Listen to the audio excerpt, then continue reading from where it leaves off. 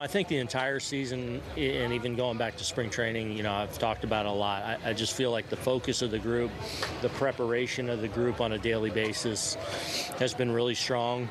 And you know, it's it's great now that we're starting to get more consistent results. Some guys that got off to a little bit of a slow start are, are slowly but surely kind of coming around. Um, but I think it all comes back to we're just making better swing decisions as a group, night in and night out, and, and that's allowing us to, to put some big numbers on the board. This team is 9 and 0 when they score five runs or more. What does that stat mean to you? I guess that we pitch well. um, you know, we're trying to be the most complete team we can be, and uh, you know, I think, you know, so far we're very early in the season, um, and I, but I think in every aspect we're we're showing signs of being able to do a lot of different things and win games in different ways. Whether it's with our defense, our base running, our swinging the bats, obviously our pitching, both starting and relieving. We want to be as complete as we can be, and that's what we're working at every day. You've got Jose Trevino behind the plate again, catching Gerrit Cole. What did you like best about how they worked together last time out? Um, I, I, guess just that it was seamless um, when he went in there. You know, as I've talked a lot with you guys, I have a ton of confidence in both our catchers.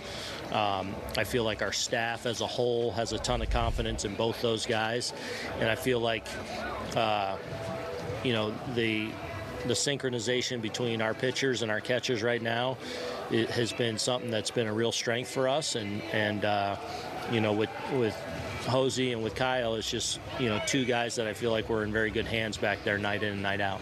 You knocked on wood during the homestand about the errorless streak. Now 13 games without committing an error out there. Yep, there you go again. Uh, who has pressed you the most defensively on this team? Whew. Um, I'm really excited about the way DJ has looked. Um, you know, especially being able to go back over to third base as much as he's been able to do. Um, I feel like he's moving and throwing better than than he was at any time last year. That's been really encouraging to see. Um, uh, you know, obviously what Kiner brings and his athleticism in the middle of the diamond. Feel like we're in really good hands behind the plate with our tandem back there. Um, so and then you know the anchor over there at first. You know, Riz just kind of brings it all together. I feel like so. Um, we, have worked hard on our defense. They've they've worked hard. It's a priority, and uh, you know so far it's been good. But it's it's April.